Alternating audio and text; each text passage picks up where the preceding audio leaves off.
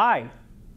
Today, I'd like to introduce you to the concept of ensemble management on Netgear WAC 720 and 730 access points. Ensemble management is a capability to manage access points centrally without using any hardware or paying any subscription fee. Comes free of charge with all Netgear 11AC access points. Allows you to manage up to 10 access points the same model. Super easy. Traditionally, you have a lot of these access points over here that requires a separate hardware where you load the software to centrally manage them. Very complicated. Other access points, such as this one, require you to subscribe on a monthly basis to centrally manage the access points. The longer you manage them, the more expensive it gets. Now, the great thing about Netgear Ensemble Management, no hardware, no software, free, you simply log in to a common IP address.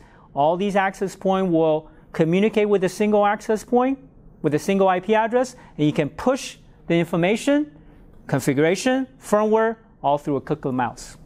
Next few slides, you will see how easy it is to configure them. Now, let's take a look how easy it is to set up ensemble management. First you do, you go to the configuration menu on the ensemble, click on ensemble.